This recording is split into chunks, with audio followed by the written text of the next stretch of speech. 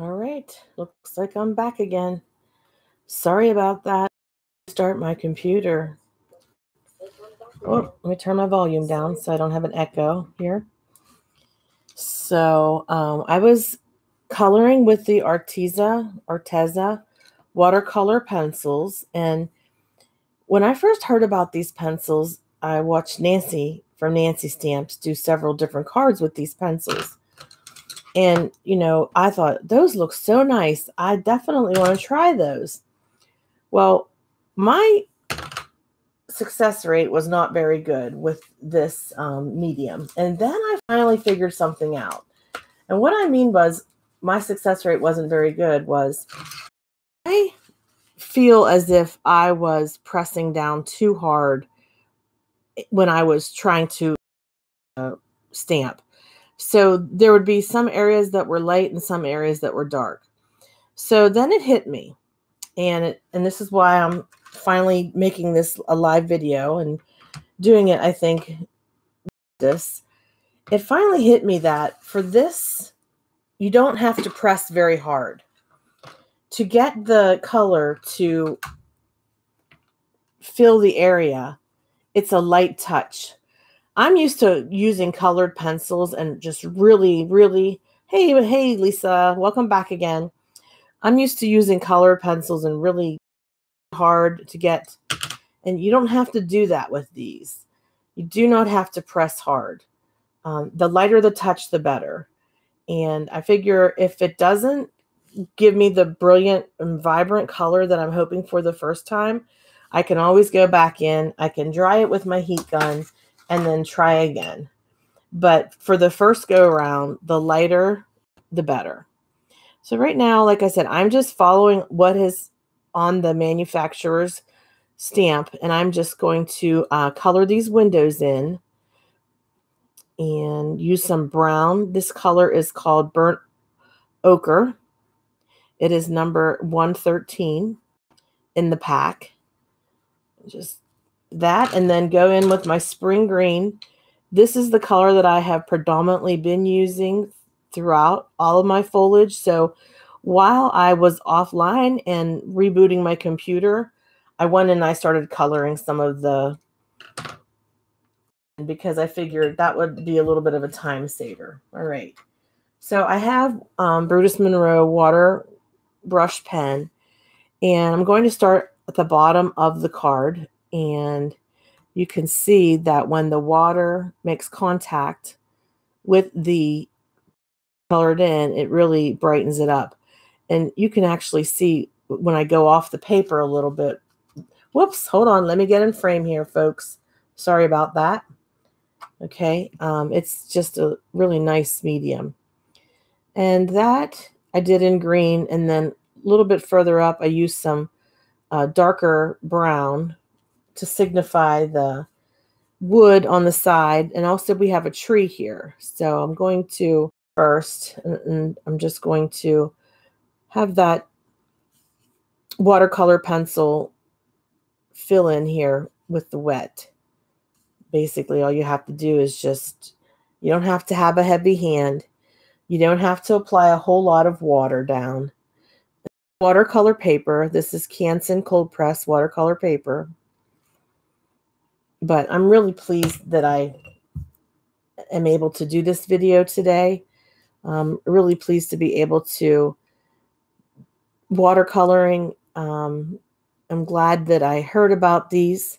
Right now I'm just watercoloring some of the foliage that I colored in with the Arteza watercolor pencils.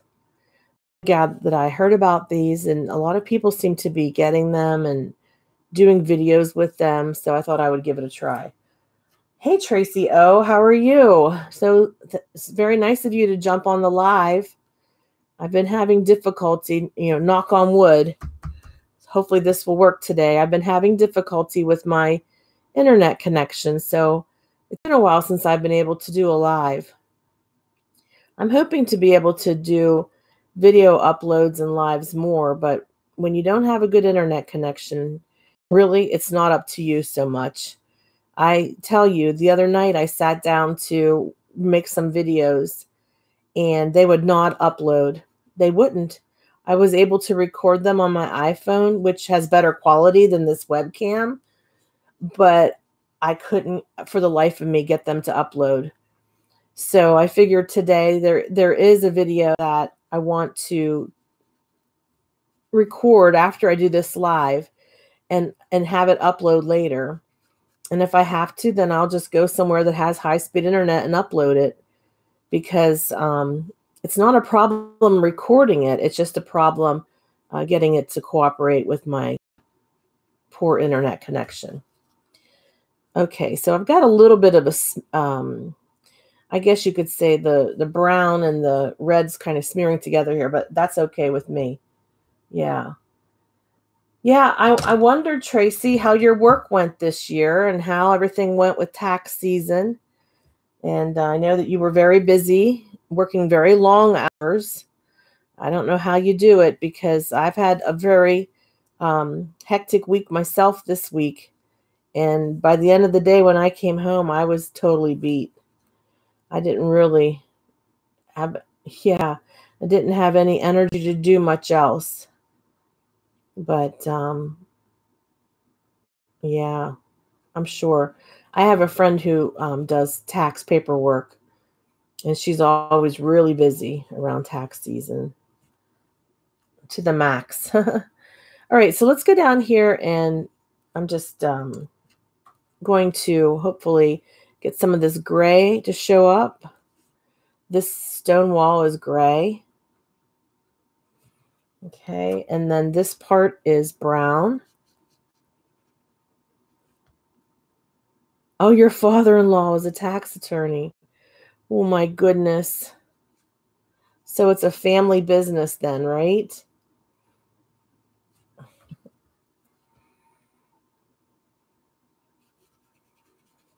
I used a little bit of yellow for this road. So I don't know. I just, I got, I was getting tired of all the brown. And I, I, I see it as a dirt road, so I think that yellow's okay. Oh, I bet he is. He probably can keep you up to date on all the new regulations. Okay, so you work in a CPA firm and you're an accountant. Okay, that's what I thought. Oh, thanks, Lisa. Yeah, the secret is do not use a heavy hand with these. Do not press hard, which I'm a heavy handed crafter. So that was a lesson for me. That was definitely something that I had to really learn. And I had to learn it the hard way. I mean, I had to make multiple tries of this card before I could understand that the problem wasn't with the watercolor pencils. The problem was with the person who was using them and was pressing down so hard.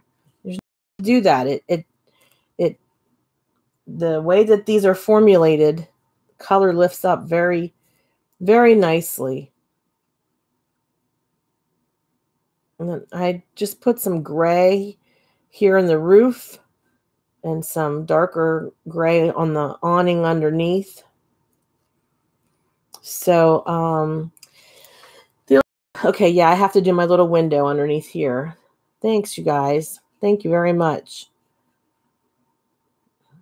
And I'm going to get my window watercolored here. The brown wood and then the green foliage inside. So, um, so to me, when I look at the card that the company has on their merchandise packaging and look at mine, mine's a lot lighter in color. So I'm going to hit it with a heat gun and try to go over it again lightly. Lightly being the word. I am not going to press hard. Okay, Tracy. Well, Lisa said she has the same set. Um, I'm using the, hold on a second. Let me plug in my heat gun. I'm using the Arteza watercolor pencils. Not sure if you're familiar with that brand or not. They come in a box like this. My paper is really wet, so I'm going to go off the side here and hit this with the heat gun.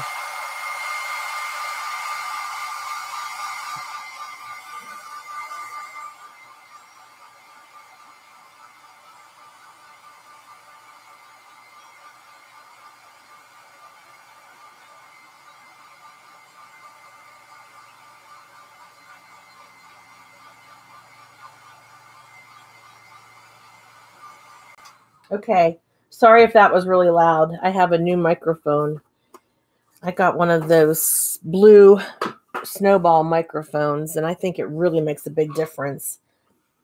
Last time I went live, I couldn't even hardly hear. Like I, I played it back just, I don't watch it step by step. I just play it back just to see how it sounds and what it looks like. And what I found was the sound, I felt like I was far away. And of course, the video wasn't very good, but that is due to my internet. It's not the webcam's fault. The webcam is clear. But when you have really very slow internet, and I even have high speed internet, but it certainly isn't very speedy. Certainly not at all. But again, that's due to where I live. We just don't have that many options. Okay, Tracy, so you have those too. Well, I hope that you get to play with them. I started using them, or the reason I purchased them was I had these Blue Knight rubber stamps, and I watched Nancy stamp, and she did a video with the Arteza watercolor pens and how easy they were. And she was so excited, and I thought, well, I need to try those because if that if that's if I can do cards that look like that, I definitely want to do cards that look like that. And then I got it home and started playing with it. Hi, Belinda, how are you? And I was not getting the same results. I was seeing a lot of lines. I wasn't very happy. Again, it was the operator error. it was not the error of the pencils. So on the card panel, good Belinda, so glad you could jump on my live and I'm so happy to be able to be doing a live. It's been a while since I've done one. So on the card panel that created, this section is colored in red. So we're just going to go in here again using a very light touch I'm actually coloring sideways so that I don't go directly down on it. I find that when I go directly on top of it, I, I have too much of a heavy hand. This is red, and then the back piece back here is red, but I, I'm not going to be able to see the very back piece, so I'm not too worried about that.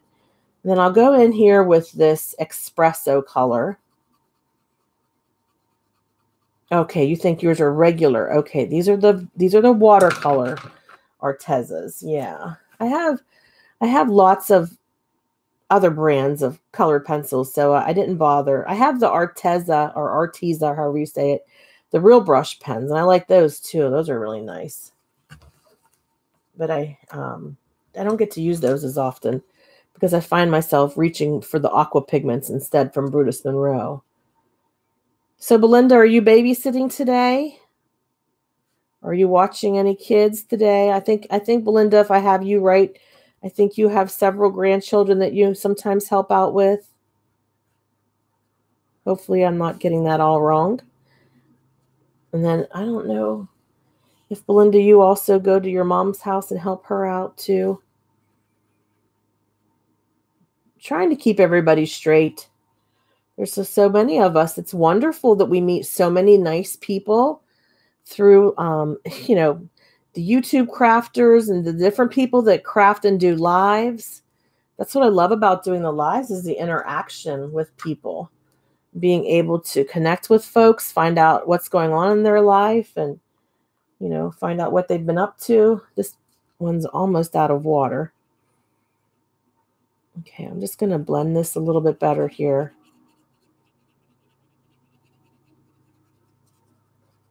Okay. Okay. Hey, Belinda. See, I pay attention. well, maybe you're getting a break today. Maybe you're not babysitting today. Uh-huh. Yeah, three girls and a boy that you have for grandchildren. That's that's wonderful. So my son is away this weekend. He went to scout camp I don't know if any of you have ever had any Boy Scouts in your families, but Jacob was selected to be in the Order of the Arrow, which is a Scout Honor Society. And what they have to do is go away camping over the weekend for a weekend, sort of be initiated into the Honor Society. And that initiation included sleeping out under the stars. But hopefully, last night, the Boy Scout leaders decided, hopefully, that they weren't going to sleep outside. Okay, you're on your on your way to Oh, I'm so sorry, Belinda, to hear about the passing of your um your husband's brother-in-law. That's oh, I'm so sorry. Just be safe. Have safe travels. And uh, know that we're thinking about you and your family in this time of need. How long of a drive do you have, Belinda, from where you live to where you need to go?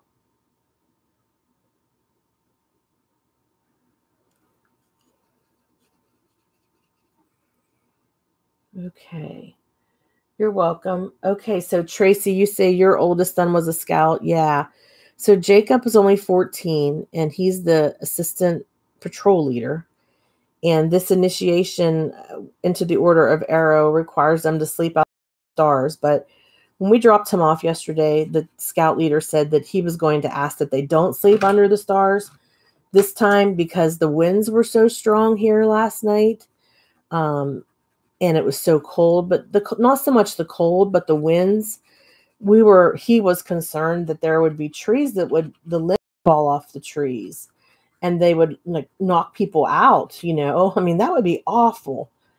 So hopefully that didn't happen. Hopefully they got to Oh my goodness, a 9-hour drive. Oh my goodness.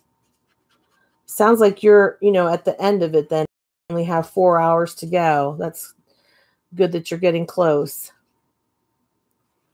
Okay, let me turn this around. One thing about my webcam, it's upside down. I have to color in upside down.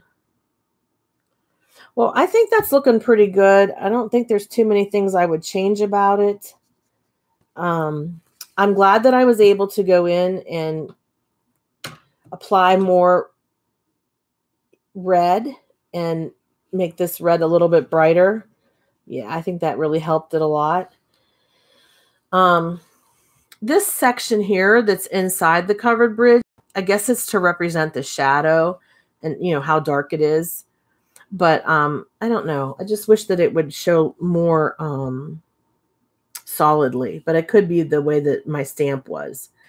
One thing I wanted to say about the covered bridges is where my husband lives, where he grew up, not where he lives. Wait a minute my husband actually does live with me. Ha ha. He does not live somewhere else, but he grew up not in the same town I grew up in. But anyways, where where his family lives, they have two covered bridges and they're red, just like this one in the card. Yes. and so um, that is one of the reasons why I wanted to purchase this particular from Blue Knight Rubber Stamp because it reminds me of where he grew up and where his family is all from. So um, I wanted to make some cards with that. Um, let's see here. What I what I would like to do to finish this off, I'm going to have to probably hit it with the heat gun one more time. It's still a little damp on the side, so I'll be right back.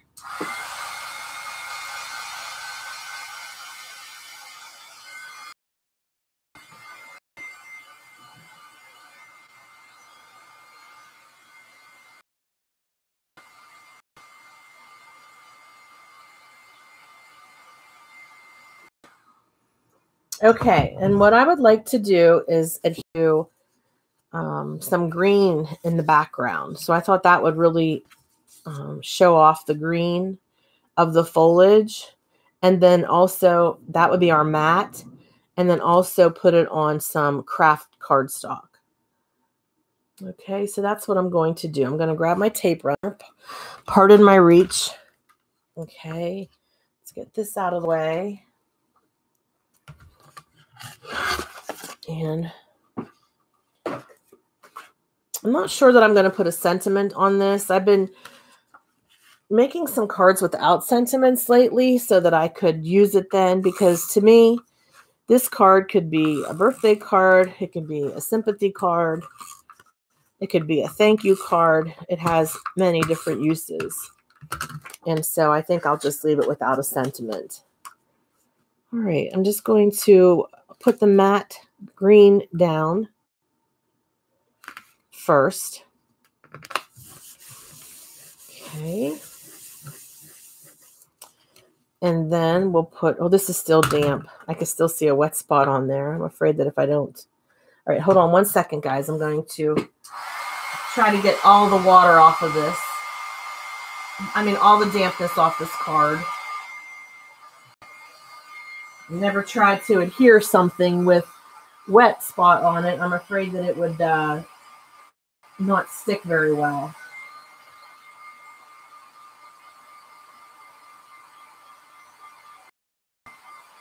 Okay. All right. Oh my. My tape runner is running low. I have an ATG gun, tape gun, but I can't seem to get to get it to the point where the sorry, I'm going to have to turn this around so I can see it. I know it's going to be upside down for you guys. I can't seem to get it where the tape stays on the reel, you know, the reel to reel, how that tape goes. Really, I just, I am challenged by the ATG on the automatic. I think that's what it's called. Um, it's this, yeah, advanced tape glider. Oh boy, what did I just knock over? I just knocked my MISTI over, but it made a loud noise. Sorry about that. Okay, so let's get a close up of this and hopefully my camera will focus and you can see how this turns out. And the winds are really blowing hard here. So my internet looks blurry, I'm sure that has something to do with it. Thank you, Lisa. I think it's rustic. I mean, I wouldn't say that it's very vibrant, but I think it makes for a nice card and it would make for a nice sympathy card or birthday card. And I would probably put the sentiment on the inside. So, Belinda, um, hope you have safe travels the rest of your way. Um, and also to Lisa and Tracy and Belinda, thank you all for joining in and watching my my live. I'm so excited that I was able to go live again. And I'm going to keep trying to go live every day, even if it's just for a short period of time. Um, and I figure I'll take my chances um, with the way that my internet is. It might work and it might not work, but I'm going to keep trying. So that's what I have for today. Again, this is um, a really cool stamp from Blue Knight Rubber Stamp. Okay. And um, if you haven't ever purchased anything from them, I think you would be really pleased. They have great products. Yes. If you, Belinda, here's the thing if you are heavy handed when you color with regular pencils, you have to be very light handed with these. And so that was my issue. But I learned and I think it worked out very well. All right, everybody. Um, we'll catch you the next time. Have a great weekend. Bye bye.